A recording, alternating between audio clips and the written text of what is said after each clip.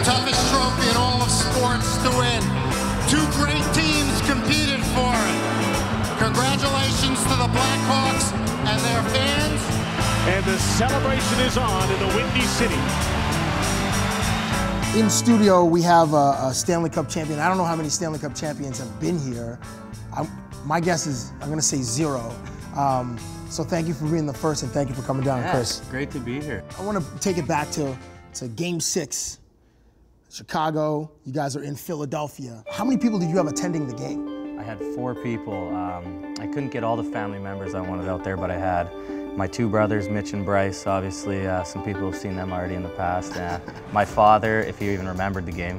And uh, I had my girlfriend out too, so uh, they were all out there and they were having a good time. I remember when your pops fake sprayed me. He was like, gonna spray yeah. me, and I had to.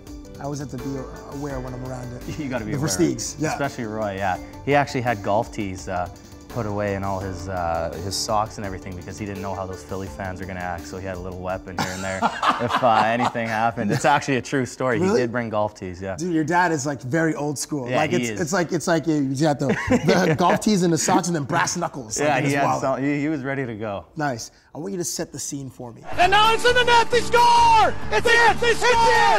The Hawks win the Stanley Cup! The Hawks win the Stanley Cup! Patrick scores the goal, and you guys jump on the ice and you celebrate on the ice. But then uh, now take us into the dressing room because the audience doesn't really get to see what happens in the dressing room like right away.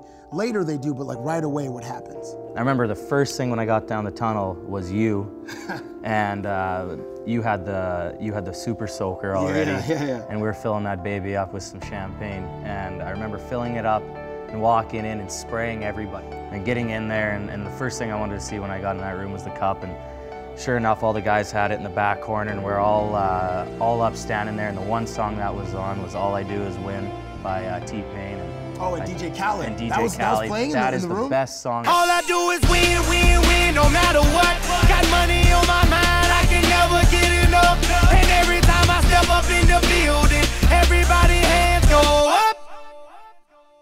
Every bar we walked into in Chicago, every restaurant, anything, that was the one song they played. And that was the first song I remember walking into the dressing room when they were playing, and all the boys are, you put your hands up, Yeah. and we're all doing it. And And they stay there, and they stay there. it was a good time.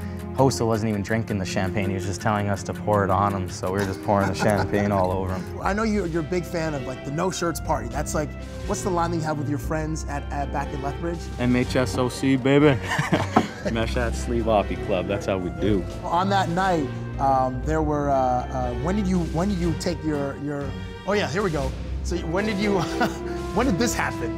I actually don't really remember, but uh, I'm sure there was a, a good uh, reason why my shirt was off. You have uh, your name on the Stanley Cup, and, and uh, there's a there's a spelling mistake. What's what's happened since then? They actually changed it, but if you look at like a, a picture, it kind of looks. My name is the last name on the cup, and it's pretty it goes funny. it goes it's in alphabetical alphabetical, yeah, order? order, and my name is the last name on the cup, and it's so bold, and it's just like it's almost embarrassing, kind of. But it, it is. It's still really cool. But uh, it uh, they punched over. I think all the instead of just punching over the two letters they screwed up. I think they punched over the full name now. So it, it, it, it's hard to see unless you really look at it now, but it is a little bolder than it was before. So there's one, like I said, one camera angle where it's kind of funny to look at, but if you're just looking at it, um, I guess, right in front of you, you're not going to be able to really tell.